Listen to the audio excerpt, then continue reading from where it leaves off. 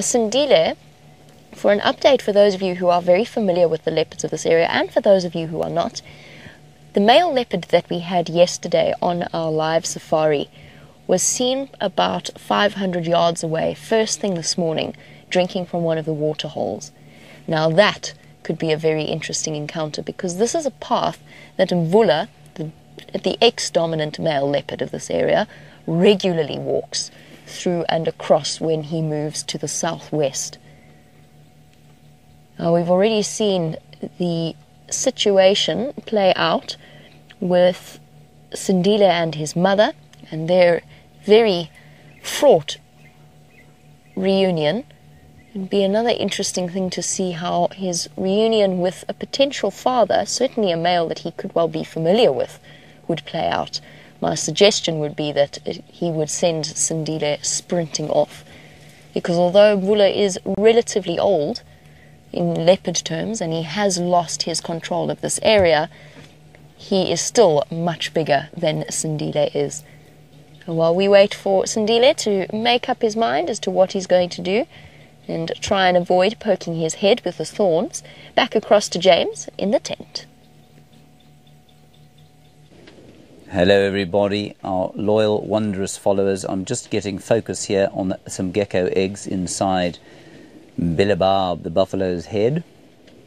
Can I say Bilibab? Can I do that live to an American audience, do you think? I'm going to try. Okay, we've got one minute to TV. Let me remove this from the buffalo's cranium so that we might reveal him in all his glory.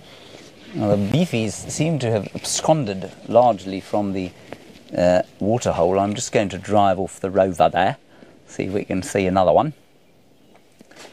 Oh dear, oh dear. Ha! I think I think the rover's going to turn over.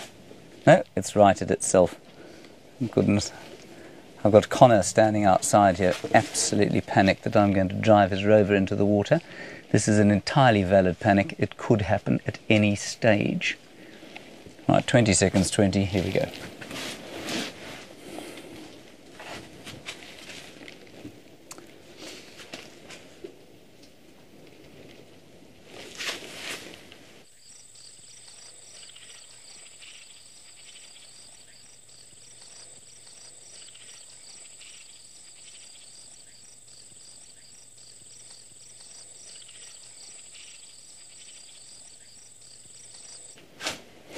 Hello, everybody. Back again we are. You're here live in the middle of the Kruger National Park, eight and a half million acres of untrammeled, wonderful wildlife wilderness, and it's wonderful to have you with us. Please stay with us for the next little while. It is Father's Day. Send us your shout outs, and I have two now. One to Hayden Turner, all the way in Australia. It's great to have him with us, one of our old time presenters and one of the greatest and most faithful safari livers in the world. Then to Bob, I think it is indeed. Tim, you wanted to send a message to Bob, your father, who is 85 years old and about to go on his first African safari. Bob, good on you. Can't wait to have you out here. South Africa will welcome you with open, open arms. Now, this buffalo is uh, probably unrelated to the ones that I was uh, sort of talking with, with Ronald in the pan. Uh, this long dead, probably a few years now, and you can see the front of his face eaten off by lions and hyenas. Now that's of course rather grim.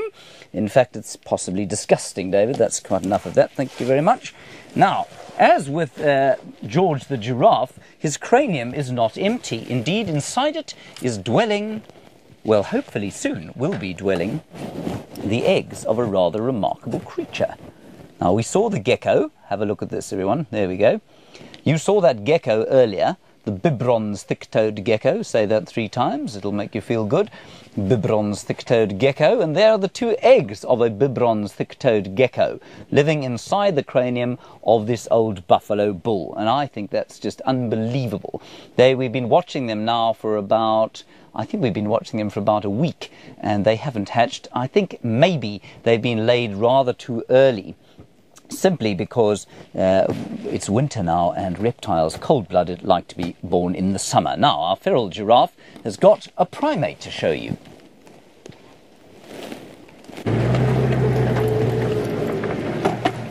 of course, just as James was linking, he just, the primate decided to move, and we are on a live safari. But there he is now. He's popped there. It's called a vervet monkey, uh, also sometimes referred to as a green monkey, and that's a big male. Now, what he was doing, he was sitting up high in that marula tree, and he was keeping watch. You can see he doesn't like being on the ground. And he sprinted off. Now, he was keeping watch for leopards, lions, and other predators. They have incredible eyesight, and they are able to spot, trying to see if there's a few more. I know there's a big troop around here, and it seems like he was the last of them, and he was keeping watch to make sure all of them could move through safely while he checked the potential danger area of the thickets behind us. There he is. He's made it all the way to the next tree, and he's a bit far off now. Oh, let's go forward a bit. And he's off again. Oh, sorry about that. Well, this is live and we can't control the movement of the animals. And remember, shout outs for your dad on this wonderfully beautiful Father's Day safari. You can use the hashtag Safari Live. There's literally not a cloud in the sky. The light is gorgeous. And we're in search of any creature. You never know what's going to be around the next corner. And I'm hoping there's going to be something fantastic.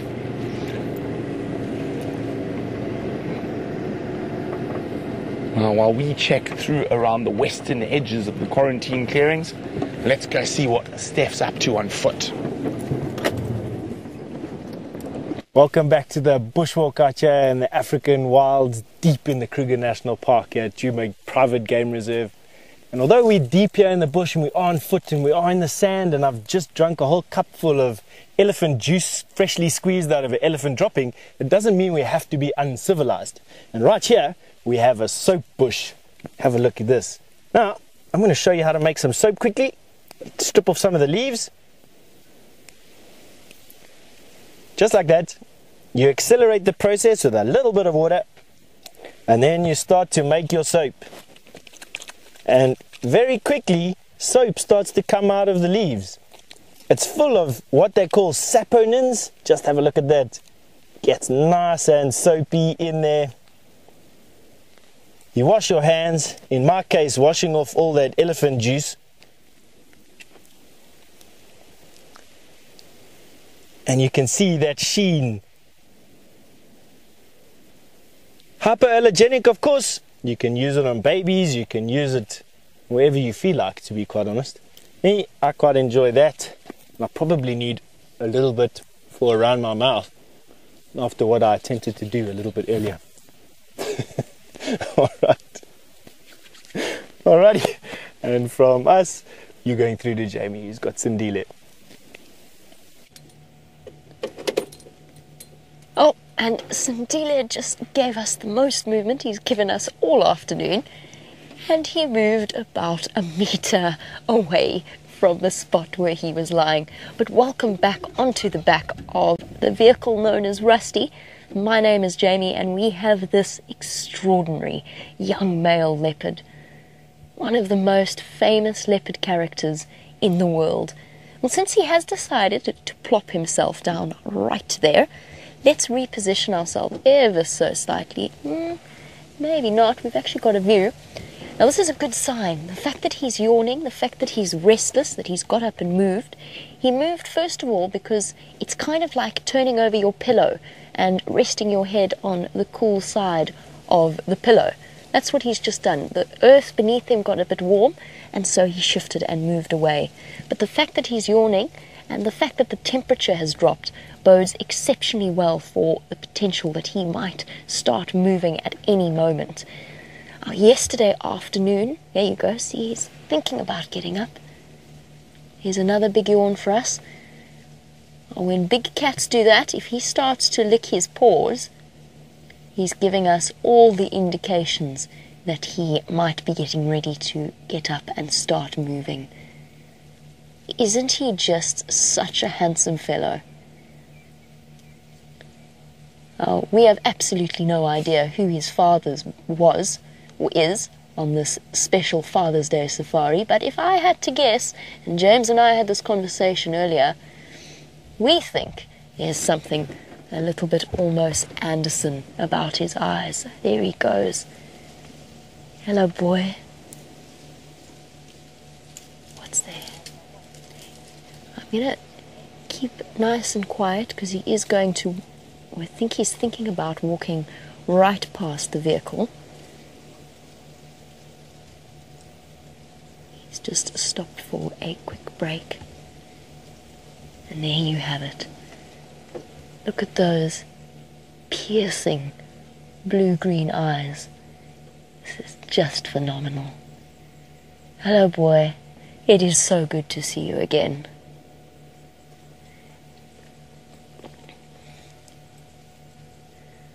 And Jordan, welcome on our live safari.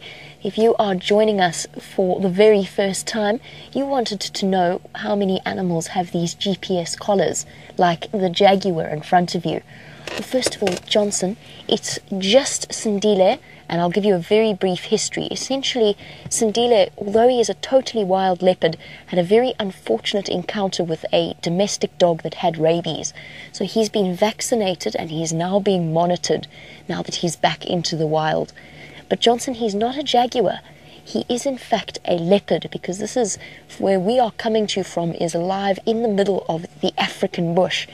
Uh, we don't have jaguars here, although it is a dream of mine to see jaguars in the wild one day. But our leopards are equally extraordinary. But Sindile, which means the survivor, as far as I know, Sindile is the only leopard that has a collar, and only because he has one of the most extraordinary stories that I have ever heard in the wild in my entire life. The only time that I have ever seen human intervention to this extent, and it has just played such an incredible role in this young male leopard's life. It's because of that collar that he was able to be released back into the wild once again. And while he decides what to do, it's time for us to send you back across to the tent. And for those of you who are watching on television, you can always keep track of these stories. You can follow us each and every day on the internet, every day, twice a day, on wildsafarilive.com. So if we don't have an ending for Sindile's story, we will do in the future. Back across to James now as Sindile sharpens his claws.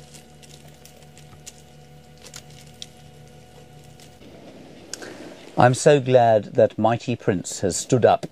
This was not a mighty prince, but it may have been a mighty princess in its time. It's a female verdant hawk moth. How beautiful is that? Now, while you have a look at that, and while I put it under the microscope, Phil Schultz, you're sitting with your father, Phil Schultz Sr., that's easy to remember, and you're watching and reminiscing about your time in southern Africa. I think that's wonderful. You know, my earliest wilderness memory is of a time climbing a mighty baobab tree with my father. I think I was just 11 years old, and I get a little tearful every time I think about it. It's one, it's a great memory I've got. And let's have a look now at this verdant moth under the microscope. Look at that. Isn't that incredible? Now, I think you'll find, I don't know much about the verdant moth, the verdant hawk moth, other than that it eats uh, nectar. And you can just see that little bit of coppery stuff sticking out from the bottom of its jaw. That is the proboscis. And the proboscis is a fancy word of, for saying sort of a long sticky bit out the front of the nose. And that will be put into flowers to suck the nectar. And the reason I know that this is not a mighty prince is because of the antenna. Can you see the antenna there? Those ant- whoops, hang on a second, I've lost control. There we are. The antenna, which are losing control again. I'm sorry, those are my fingers, everybody. They're not part of the moth. There are the antenna. Ooh, one of them's come off. That makes it very easy. Right. Now, we just it, oh, it's getting blown around. Anyway, it does not have what we call a combed antenna. And if we look at it like this, I think it's probably a bit easier if I hold it. There's a howling gale blowing in from the northwest. Well, it's not really, it's a gentle zephyr, but it's enough to blow this lady out. Now, if you look close in at the antenna there, you can see that they do not have combs on them.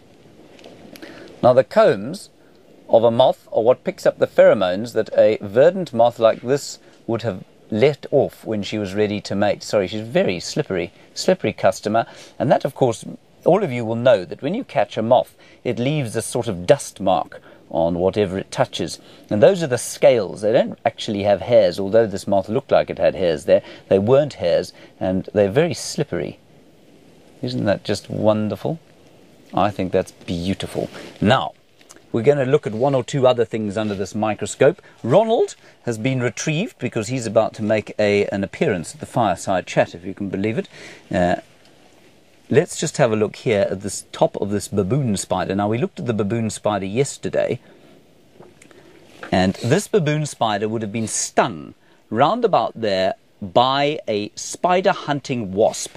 And the spider hunting wasp lays an egg inside the abdomen. There's the abdomen there. Look at those beautiful copper colors. I think that's just too stunning for words. And look at those hairs. And the spider hunting wasp would have stung it on the back of the abdomen, laid an egg inside, and while immobile, completely immobile, I'll just take him out again and show you on my hand. You can see, I mean, for most people, this would be an utterly terrifying activity. There you can see the spider. Now, for most, uh, like I say, he's been stung there and probably not dead, interestingly, quite possibly still alive, but totally paralyzed. And the wasp's poison would have paralyzed him. The egg will hatch in the abdomen there, and it will then eat the innards out of the spider. So, I mean, it's quite a clever strategy if you're a wasp. It's a really awful time if you happen to be a spider. But what happens is that the spider stays alive, which means that when the wasp eggs hatch, they have fresh food to eat. Now, what we're looking at there is the are the pedipalps and the eyes. Now the pedipalps are those sort of um, looks almost like a camel's toe at the front of the spider. So we'll put him under the microscope again. And there you can see the pedipalps which are topped with those rather terrifying looking sharp, shiny black fangs. He had excellent dental hygiene, this, did this fellow. Now, that's enough of the spider. In about half a minute, we're going to go to a small break and then we're going to set up next to the fireside. Now, it is Father's Day, which is an ostensibly male day, inescapably, and uh, many males around the world are fascinated by the world of technology. Now, we're going to look at a lot of the technology that is involved with bringing you a high definition signal out of the iconic Kruger National Park. We'll be looking at the final control, the rovers, the drones, the walking, and the most romantic job in the world, that of wildlife cameraman. We'll see you then.